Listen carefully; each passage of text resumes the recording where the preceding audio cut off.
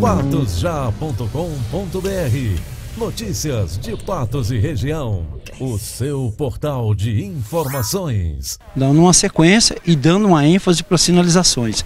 O time teve 16 finalizações, 12 escanteios, 16 bolas alçadas na área de cruzamentos e não conseguimos fazer o gol.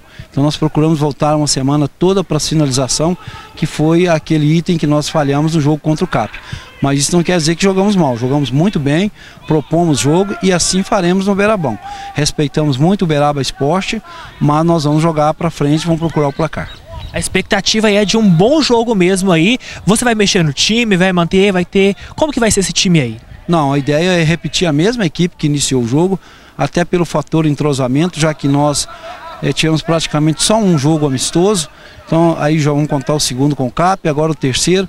O entrosamento também faz parte é, de uma equipe de, é, de, futebol. As capacidades, as melhorias na equipe, ela se dá através do entrosamento, o conhecimento de uma peça com a outra.